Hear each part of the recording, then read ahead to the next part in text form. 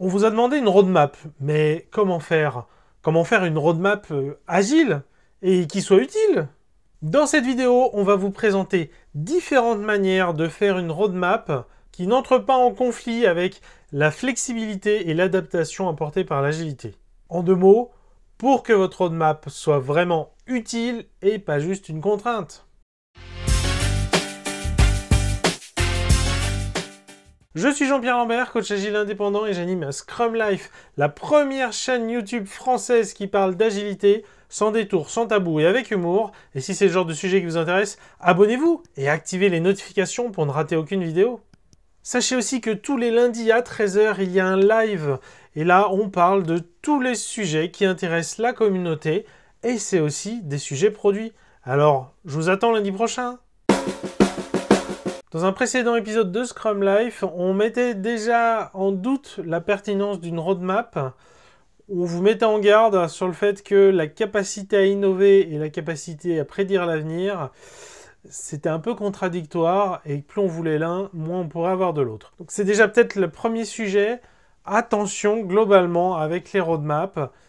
Est-ce que vraiment c'est bien utile? Peut-être que vous pouvez vous en passer. Alors plus précisément, on va essayer de détailler rapidement c'est quoi les problèmes avec les roadmaps? Pourquoi c'est un souci? Pourquoi on recommande de ne pas en faire? En quelques mots, les roadmaps, elles ont une fâcheuse tendance à créer beaucoup d'attentes, beaucoup d'attentes irréalistes. Parce que la réalité, c'est que tout change, contrairement à ce que semble indiquer cette roadmap.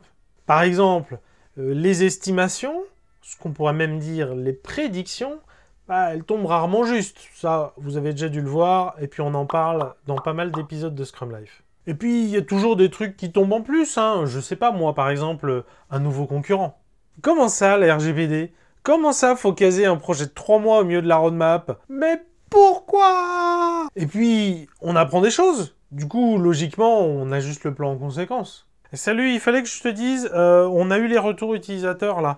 Euh, bah, euh, personne n'utilise la nouvelle fonctionnalité. Hein. Bah, vraiment personne, hein Ok, bon, donc visiblement, on n'en a pas fini avec cette fonctionnalité. Je vais voir s'il vaut mieux l'abandonner complètement et du coup l'enlever. Euh, ou alors, est-ce qu'il faut qu'on creuse plus, qu'on voie euh, Parce que là, ça pose des questions quand même. Hein. Et finalement, la roadmap, euh, c'est beaucoup de promesses. Des promesses qu'on peut pas tenir par définition. Voilà, comme vous l'avez demandé, la roadmap prévisionnelle sur un an. Alors évidemment, hein, je vous mets en garde, hein, c'est évidemment fait avec les informations qu'on a aujourd'hui, il euh, n'y a rien de définitif. Hein. Attendez, là, euh, c'est pas possible, hein, mais euh, ça, il me semble bien que vous aviez dit que ça sortirait pour le 1er juin. Et c'est toujours pas sorti. Non, mais là, wow, wow, wow, wow. Et cette roadmap en cascade, elle va potentiellement provoquer des comportements indésirables. Par exemple, elle va avoir tendance à faire qu'on veuille occuper les gens au maximum plutôt que de se focaliser sur la valeur. Ou encore, on va vouloir suivre le plan à tout prix même si on découvre que c'est plus vraiment le meilleur plan à suivre. On a vu que ça, ça marchait pas, non? On pourrait pas arrêter le développement de cette feature euh, Qu'est-ce qu'on dit Ouais, je vois ce que tu veux dire, mais euh, tu comprends, c'est dans la roadmap, hein, donc euh, on va le faire. Et cette roadmap, elle va avoir tendance à nous faire converger tôt vers les solutions. Tôt, au moment où on en sait le moins. Je suis en train de faire la roadmap, donc j'ai besoin de savoir combien de temps ça, ça va prendre bah, pour le mettre sur la roadmap, justement. Voilà, attends, il faut qu'on fasse un cadrage, hein, faut qu'on décide de la meilleure solution, tout ça, tout ça. Est-ce qu'au moins le fonctionnel, eh, il est déjà figé hein?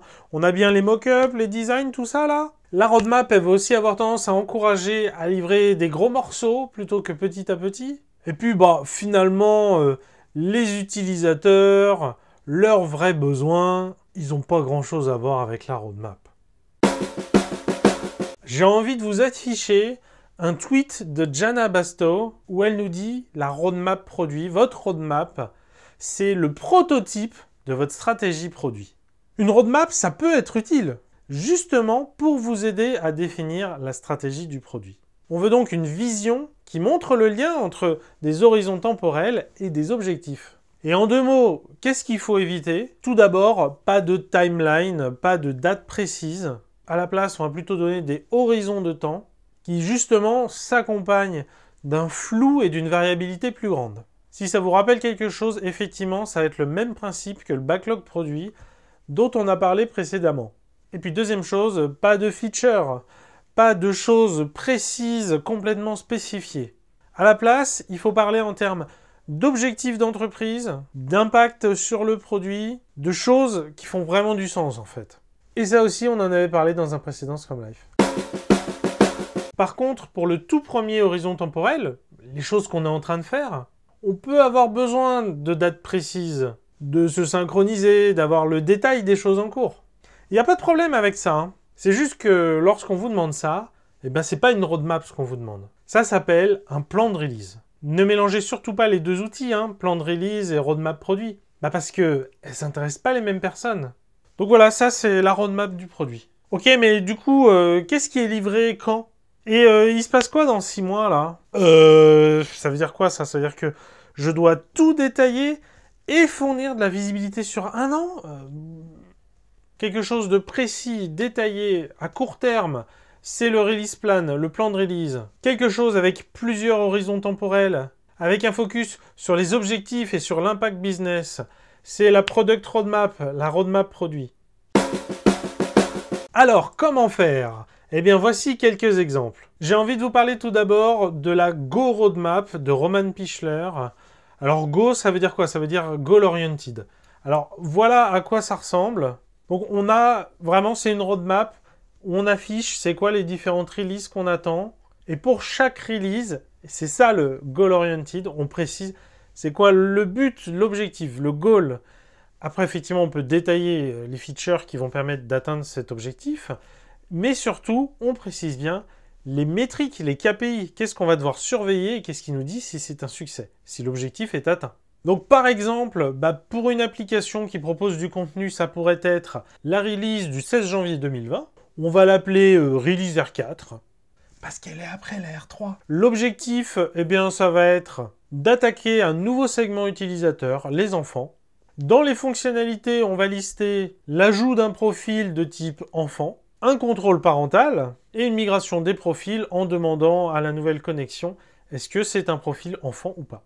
Et enfin, la mesure, on s'attend à une conversion de 10% des utilisateurs en profil enfant et provoquer un temps moyen de consommation des profils enfants qui va augmenter d'au moins 5%.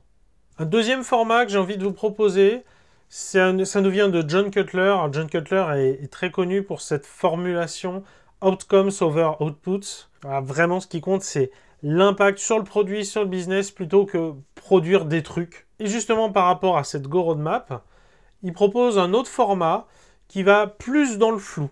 Il nous en parlait dans un tweet. C'est ce qu'il nous dit. On n'a pas le choix. Il faut faire une roadmap. Cette roadmap, il faut qu'elle ait un calendrier. Alors par contre, ce qui compte vraiment, vraiment, voilà, c'est de parler d'outcomes, d'objectifs business, d'impact, et pas d'output. Et notamment, pas de feature. Donc voilà, hein, c'est un format très simple qui propose hein, la liste d'outcomes qu'on attend et une répartition euh, voilà, par rapport au quarter. Si on nous demande un calendrier, souvent on nous le demande bah, par trimestre. Hein. Et, puis on peut noter où ça en est, est-ce que ça avance bien, quand est-ce qu'on travaillera dessus, les résultats qu'on en attend, etc. Un format très léger, très général, et il y a la dimension temporelle si on vous la demande. Et enfin, un format de roadmap que je voulais vraiment vous introduire, la Lean Roadmap. Alors c'est justement Jana Basto qui nous en parle, notamment dans un fil Twitter. Ça, c'est le premier. C'est vraiment un fil de discussion incroyable. Je vous invite vraiment à tout lire dedans. Elle explique vraiment c'est quoi tous les problèmes avec les roadmaps classiques et donc pourquoi faut pas en faire. Et après, elle nous donne même un tutoriel pour faire une roadmap qui elle va bien marcher. C'est cette fameuse Lean Roadmap. Justement, je vous propose de dérouler ce fil de tweet ensemble, la partie tuto. Donc tout d'abord, vraiment, elle nous dit ce qui est important, c'est la vision produit. Il faut démarrer de ça.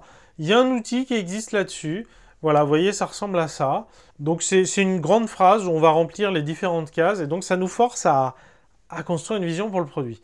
Par exemple, ça pourrait être un produit qui serait pour les débutants en agilité, qui cherchent à découvrir l'agilité ou à monter en compétence dessus. La Scrum Life Academy, c'est une formation qui propose des formations en ligne et contrairement à Udemy, notre produit propose une approche pédagogique originale qui combine des contenus gratuitement accessibles avec un accompagnement personnalisé et une communauté d'entraide. Eh, vous en pensez quoi de ce produit? Est-ce que ça a l'air cool? Vous nous écrivez un petit commentaire pour nous dire Maintenant, deuxième étape, à partir de cette vision produit, on va dériver des objectifs qu'on se donne pour atteindre cette vision. Et maintenant, troisième étape, on va se donner des horizons temporels, typiquement ce qu'on est en train de faire, donc qui vont être des choses assez petites, qui bougent pas beaucoup, qui sont bien spécifiées, et pour lesquelles potentiellement on n'est pas très flexible sur le périmètre. On va avoir un deuxième horizon à court terme, où là on va aborder des sujets plus larges, et on va avoir justement de la flexibilité dans les périmètres, dans les solutions qu'on veut mettre en place. Et puis enfin, le futur, où là ça va vraiment être des choses de haut niveau, avec un périmètre très large et vraiment très très flexible. Ce qui nous donne deux exemples de ligne roadmap, où on cumule ces deux axes des objectifs et des horizons. Premier exemple où là on va le structurer par les horizons, et du coup on va avoir les différentes cartes, éléments qui correspondent aux choses dans chaque horizon, avec vraiment l'objectif en gros qui apparaît dessus, avec une couleur par exemple. Ou une autre alternative, voilà, dans celle-là, on va plutôt le structurer justement, chaque ligne qui va être un objectif, et on va remplir les cases en fonction des, euh, des différents horizons.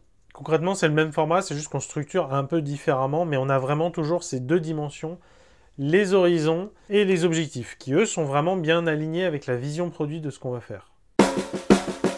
En conclusion, si vous ne pouvez pas vous substituer à l'exercice de la roadmap, rappelez-vous ces éléments clés. Donner des horizons temporels plutôt que des dates, et donner des impacts business, des impacts sur le produit, plutôt que des features. Et en fait, ce qu'on se rend compte, c'est que cette roadmap produit, elle devrait être complémentaire du backlog produit. Tout d'abord, elle ne doit pas être en conflit avec le backlog produit. Déjà, elle va suivre cette même logique qui dit que, bah, en gros, plus c'est loin, plus c'est flou. Et plus c'est négociable, et plus c'est flexible, et plus on est approximatif. Et un autre élément qui est vrai du backlog produit et qu'on veut retrouver dans la roadmap, c'est que ce ne sont pas des promesses, ce ne sont pas des choses qu'on va faire, ce sont des choses qu'on envisage de faire, qui pourraient être utiles, qu'on fera peut-être, comme aime bien dire Constantin, ce sont des options, des options qu'on se donne, qu'on évalue. Et en même temps, cette roadmap produit, elle va vraiment être complémentaire du backlog produit. Qu'est-ce qui manque dans le backlog produit? Bah, C'est la vision produit. C'est où est-ce qu'on veut aller, c'est quoi la stratégie produit? Et ben voilà, c'est à ça qu'elle doit servir cette roadmap produit. À donner le sens de la stratégie produit qui n'est pas forcément apparente dans le backlog produit. Cet épisode vous a plu? Vous en voulez plus? Eh bien, à 100 pouces bleus sur cette vidéo, je vais chercher Constantin et on se fait une petite session impromptue pour échanger de nos différentes expériences autour de la roadmap. Vraiment, retour d'expérience. Qu'est-ce qu'on a vu? Qu'est-ce qui marchait? Qu'est-ce qui marchait pas? Compte sur vous, hein Et vous êtes mes plus grands fans